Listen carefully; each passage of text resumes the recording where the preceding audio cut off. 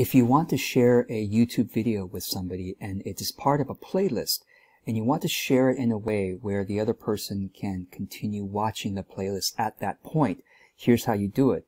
So let's say I want to share this video with you. I go ahead and click here. Okay, now notice that the URL of the playlist or the URL of the video says youtube.com slash watch question mark v equals. Okay, so that's a very common, you know, URL structure for YouTube. And then this is actually the ID of the video. And then you could see that there's an ampersand, an, and, an uh, and symbol there.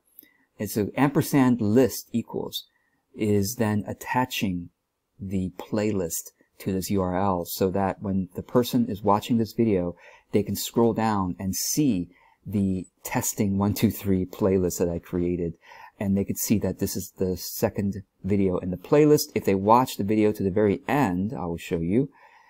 Okay, watch it to the very end.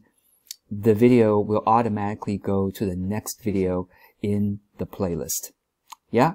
So that's how you do it. Now, let's say that you wanted to share that video, but you don't want to share the rest of the playlist. The simplest way of doing it is to click on the share button and copy this. And this will share the video but not have it be part of the playlist. For example, let me open a new tab. If I just go here, I'm watching the video, but if I scroll down, there is no longer that playlist on the right-hand side.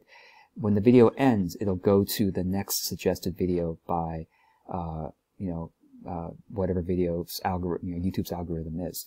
So I hope this is helpful, and if you have any questions, uh, go and comment below. I'll try to answer it quickly if I can, or someone else who's watching this might be able to answer your question.